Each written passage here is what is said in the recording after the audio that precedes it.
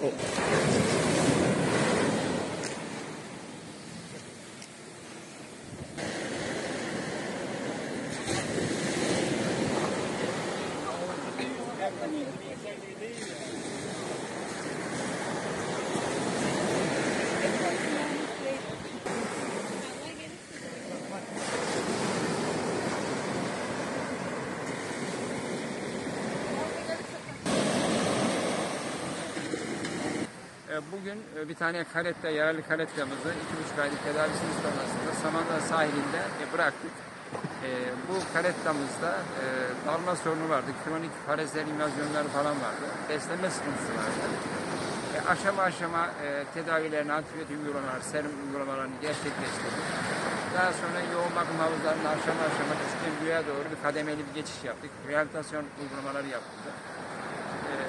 Ve en son Burada mı bulunmuştu hocam?